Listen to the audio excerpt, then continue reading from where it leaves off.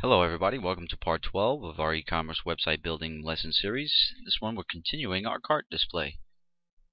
So here in part 11 when I uploaded the video, Maniac of Web brings up a good point. Will the price be changing when the quantity is increased? Like example, if the quantity is 1, the price is $4.99, but when the quantity is increased to 2, it will show the price as $9.98. And you can do that very simply. Let's open up that cart.php that section of code where it's rendering the cart output, right below the while loop, you can simply, let's take this price variable, price equal to this price, whatever the price is for that item, times, you put the star symbol, the asterisk, times each item quantity. So that's very simple to do there. And that'll make you a little math equation that'll say if the price is $4.99, the quantity happens to be 2, it'll make it 9.98. The price will be 9.98 for that cart item. Let's press Control S to save it and FTP it up and see what happens. I'm going to put the black hat in my cart. I'm going to go back to home, put the black jeans in. So I'm going to add the black hat again. It should be quantity 2, item price 9.98. So let's go ahead and add it again. And there you go item quantity 2, item price 998. And actually, you should have been able to figure that out on your own because of all the in-depth explaining we've been doing about what variables you have at your disposal to work with. So you have the quantity variable right there. And in PHP, you can do subtraction, addition, multiplication. The asterisk symbol, the star symbol here, is simply multiplication. So you take the price for that item out of the database, times it by the quantity and you'll have your your total price for that one item no matter how much the quantity is for that item in the cart. Okay now I'm going to go into design view and I'm going to just put in a cart static representation of the cart the way I want it to be designed. Okay so here is the cart output variable. So right under that I have a break tag under that. So the line under that I'm going to put in a table insert table. I want it to be, let's just say two rows and I don't know, six columns. I don't know if that'll be enough, but we'll try it out. We'll try it like that. And so I'm going to put various titles for each product's details here. And then we'll have a dynamic rendering of each product and its actual details in this dynamic row that will be here. But for now, I'm just going to statically design it just like you would statically design anything else directly on the page here. And then we'll resume the video because I don't want to sit here just tweaking the design of the cart in uh, design view when anybody could do that really. Any monkey with Dreamweaver can design their cart in design view here. But making it dynamic will be where we pick up. Okay, so you see what I've got here is a table with my six columns, two rows, I gave it a cell padding of 6, border of 1, and that's it. It's got 100% width set on that table. And I adjusted these cells to be sized just like I need to, just by visually dragging them around. So what we want to do is make this table row in the code view, that table row right here, dynamic, to where each product in the cart will render out its own little table row. Make good sense? Sure does. Let's go. So let's try something here. Let's highlight that table row. And right here where it says TR to the TR, put it, make put that into a code comment. Comment it out so it doesn't render. And then right here, let's put that cart output variable.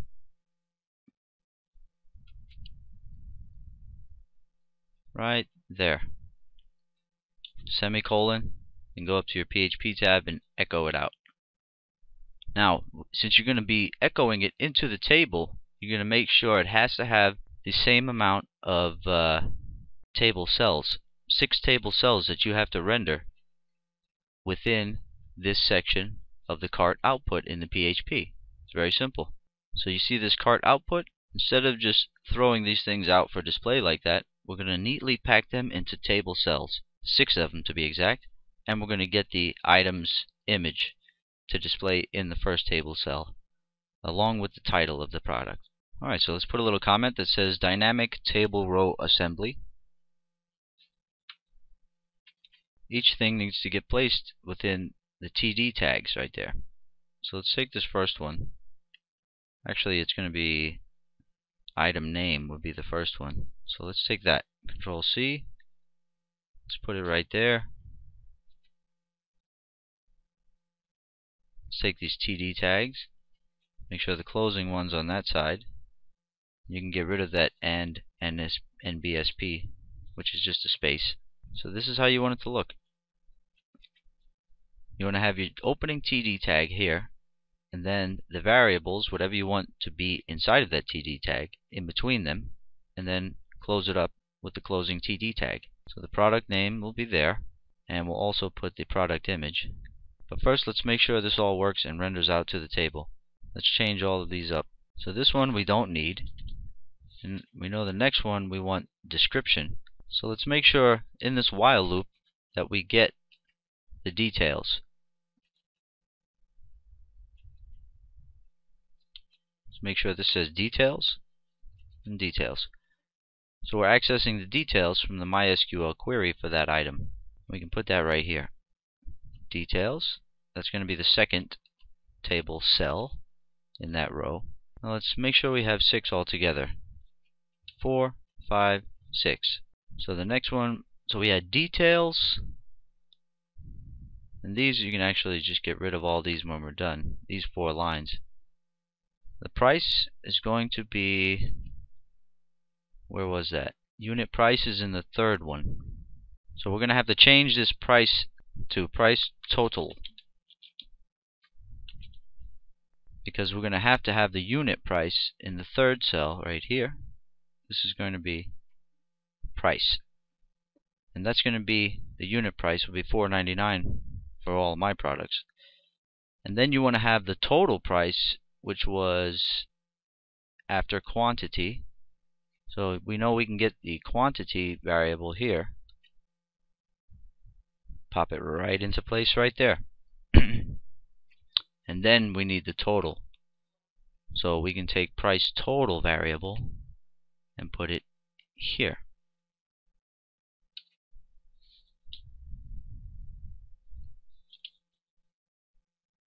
And the last thing is going to be a remove button. So let's just type that in. For now let's just type in an, an X character just for static representation let's remove all of these we don't need these anymore we're going to have to put the table row tag in there too. So let's make cart, pot, cart output variable again. And this is going to be starting tr tag. That's the starting table row tag. So right there at the top you put the starting table row tag. At the very bottom you put the closing table row tag. So there you go. There's a dynamic table row that's going to be assembled within this for each loop for each cart item and it's going to be placed right there in cart output. Let's see if that works. Let's FTP it to the server and check things out. But we still have to add a few things to this table to make it really work as a cart should. Alright, so I FTP'd the new programming up to the store and this is what I get, which is exactly what I wanted. And you can make these this table header any color you want. That's what I'm going to do. I'm going to change the color of it. Let's go to back to design view. And instead of white, you can see I have mine set as all background of white for those table cells. I'm going to change those to maybe some blue color, light blue. There we go. And I'm going to make all that text bold.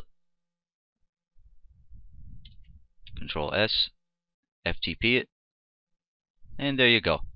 So you have little headings up there that describe what the, all the information is inside.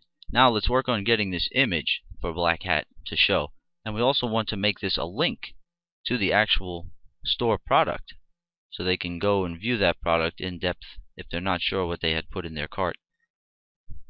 So we'll make that a link to the product and we'll also put the product image there. And so let's go into the code view, the cart output, and right here where they have the product name, let's put a break tag right there so the product name will be on top. And then pop in this code. Now what we can do here is encapsulate these with single quotes, this whole string. That way we can leave all the double quotes in there for all of the HTML attributes of that tag and they'll still render incorrectly. But where you want the variables to come in is right here where I have these X's. So this has to be, you can see I have the width set to 40 and the height set to 52 for all my product images. So they'll be nice and small in the cart. So item ID, I can grab that variable right there and pop that right here by putting a single quote, space, period, space, the variable, space, period, space, single quote. That will allow that variable to render in this location here. Since our string is encapsulated by single quotes, we have to break the string using single quotes, then add the variable, and then resume the string. And here in the alt, you just want to have the product name, I guess. So let's do the same thing. Single quote, period, variable, period, single quote. And let's put the variable right there, product name. So you see how that works? You don't really need the spaces in between your period there, but I like to put the spaces because it really lets me know what I'm doing there. And it gives me a better visual representation of what's going on.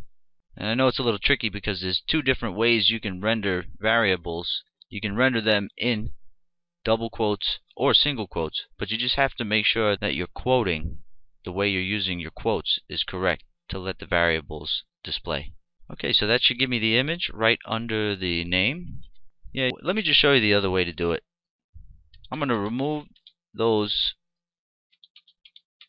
single quotes and periods that we put in to make the variable display within the string that's encapsulated by single quotes. And we'll have it if we use double quotes here. So watch, I'm going to use double quote and double quote. This might be a little easier for some of you guys. Anywhere in your string where you have double quotes, you can see it breaks it. So what you have to do is escape all double quotes in the string by putting the backslash. So you see there? I'm just putting the backslash between all double quotes in that string. Now I don't have to do anything, just put in the variable and it will display in the string there. So let's test that out. Save. And the reason why I just I took the extra time to show you both methods there is because I know a lot of people run into trouble when they're trying to quote and escape things within a PHP rendering string. Okay, so you see what I've got there. And I have to go into the HTML section and make sure right here we're not echoing the cart output up top anymore. We just have it down there where it should be for the dynamic table row. Now, if I look at my cart, that's exactly what it should look like. And you can align all of these things, vertically align them to the top if you want. I'm just going to leave it as it is. Now I'm going to make a link, like I said, to the actual product on the site. Now, if you want your link to be around the product title, just go ahead and highlight all this right there. So right there around the product name, we're going to put in, throw in a link, OK. You can see that we have to escape that double quote and that double quote mark. And that's it. Now we can put the actual href to the product. Product.php ID is equal to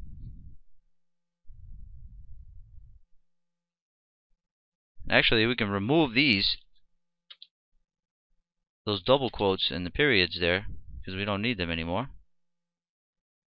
since we made the string encapsulated with double quotes.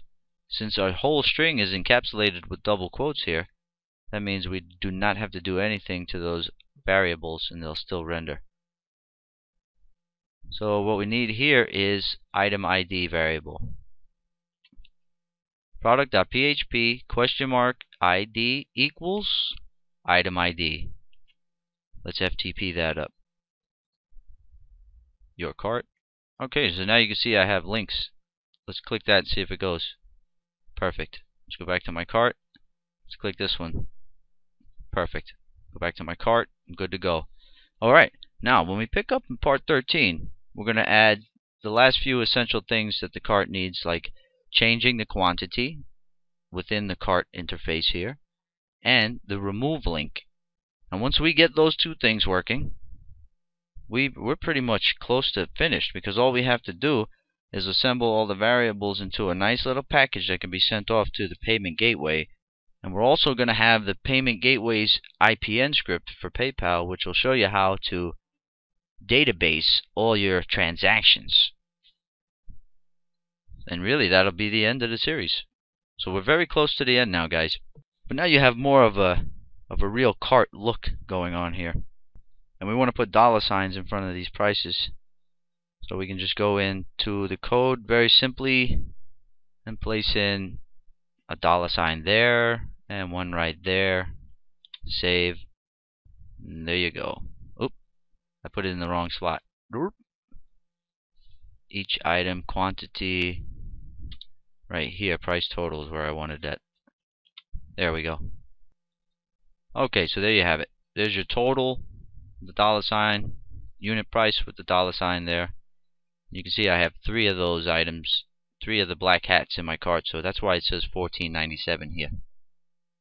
And the cart total, we'll show you how to get the cart total in the next lesson, where we'll be showing you how to up the quantity or decrease the quantity. Show show you how to let the person change the quantity here and remove the item. We'll also show the cart total, and we'll get into discussions about the payment gateways. Alright, so we'll see you in the next part.